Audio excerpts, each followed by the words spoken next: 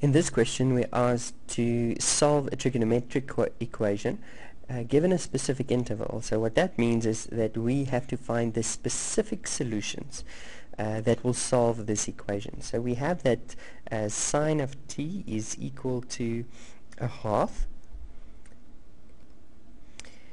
In other words, what value can t take so that sine of t is equal to a, a, a half but t must be in this interval between 135 degrees and 270 degrees. And actually I think I made a mistake. That must be negative 135 degrees okay? So keep it as a negative 135 and 270 degrees.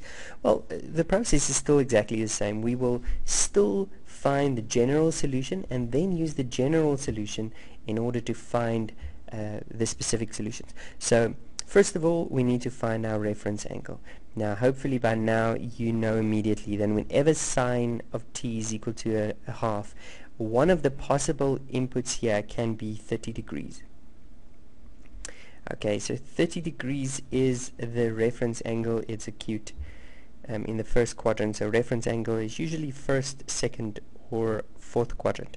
So now we can go ahead and write down our general solution, which is that either, uh, not theta, but indeed t is equal to my reference angle plus 360 times k, where k is going to be some integer, okay, or t is equal to 180 degrees minus the reference angle okay? Plus 360 degrees times k. And uh, this second one again we find because in the second quadrant it's 180 minus is where sine is positive okay? So uh, if we substitute it we therefore get that I have either it's 30 degrees plus some uh, some or a few uh, periods or it's 180 minus 30 degrees which means 150 degrees plus uh, some full rotations. Sorry I forgot my k there. Okay where k is an element of z. Now that we have the two general solutions they are actually just formulas to find the specific solutions with. So now what we're going to do is we're going to start with k.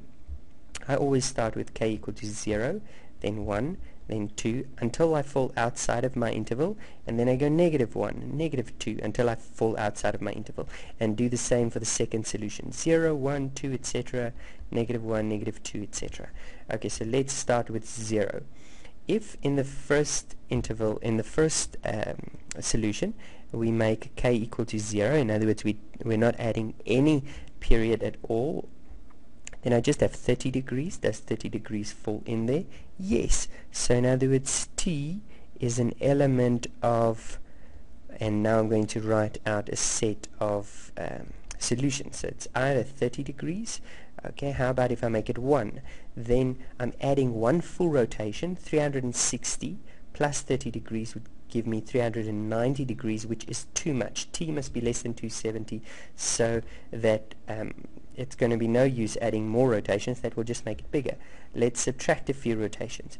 How about 30 minus one rotation? In other words negative 360 would give me negative 330 negative 330 is too small I'm uh, the, the smallest value I'm allowed to have is 135 negative 135 so negative 1 won't work uh, positive 1 won't work so I'm not going to go any further looking at the second one Let's start with k equal to 0.